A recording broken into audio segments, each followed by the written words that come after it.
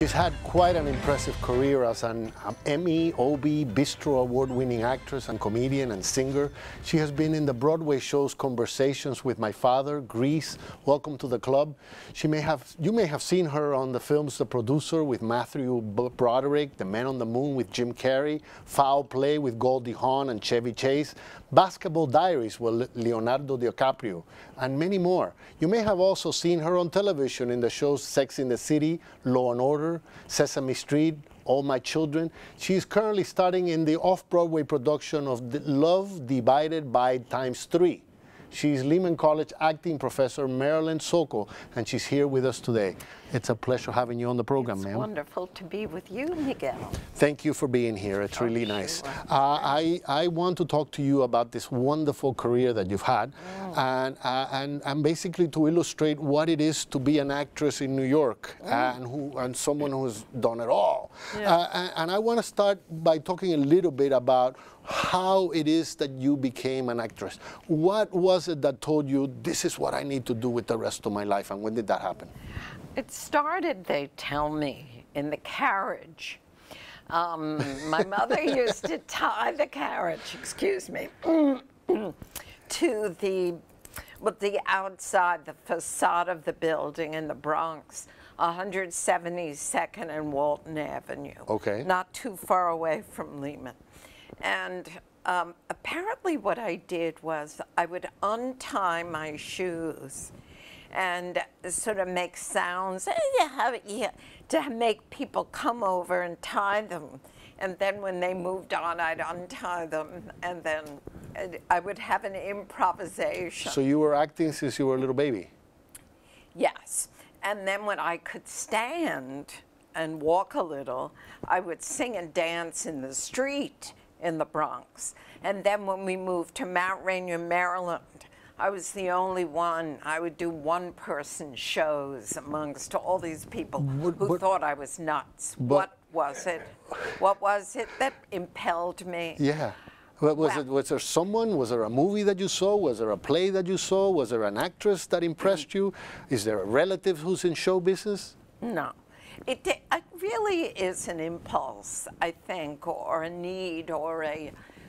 oh, I don't know. It's spiritual, actually, I think, for me.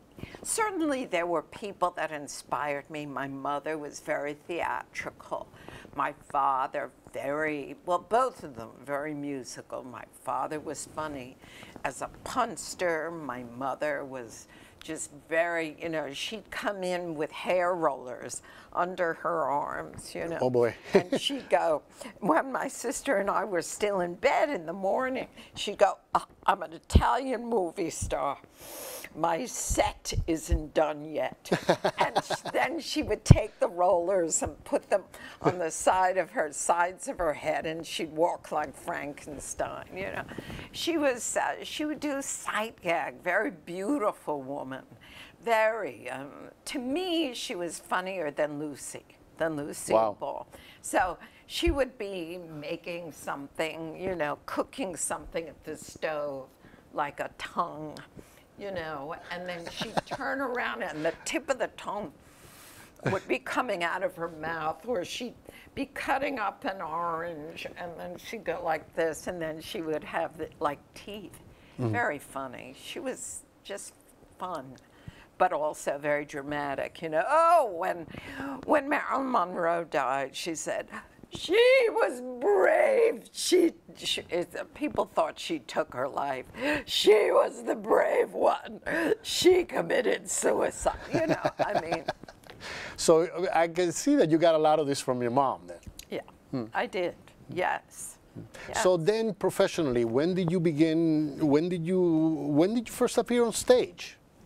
Well, I was acting all through uh, junior high and high school because um, uh, my parents sent sent me to uh, the high school drama lab at Catholic U when I, we were living in Washington D.C. and it was great. I was shy, but I had a crush on my acting teacher now. That made a guy- difference? Yeah, oh yes, a guy who's now deceased, Chuck Guinness. I loved him. But then after him came a guy who said to me, work on your body, work on your voice, work on your everything. So I didn't act for three years. But in college at NYU Uptown, which is now the Bronx Community College, I got the lead in HMS Pinafore. And that was just it for me. It opened all kinds of doors after that. Doors in my heart, you know. Even though I majored in Spanish literature, I um, I just then I really hurried up and made uh, theater my second major.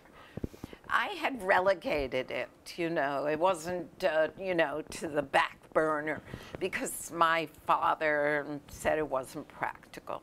But I saw I was very successful as Josephine in HMS Pinafore. Refrain, audacious tar, whatever. Okay, so, um, but then when I graduated, oh, and I also did Sharon McLonergan in Finian's Rainbow when my name, because I was married my senior year, God help me, my name was Marilyn Teitelbaum playing Sharon McLonergan. Wow. I got divorced because I couldn't stand the name. So No, you didn't. I couldn't. So I, um, I uh, honored in Spanish, and all my senior year I spent on Cervantes and Don Quixote.